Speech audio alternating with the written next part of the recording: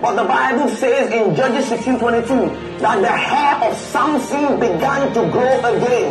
Whatever you lost, whatever the enemy tried to steal from you, I declare unto you, you will receive it back. Full measure, press down, shaking together in the name of Jesus life was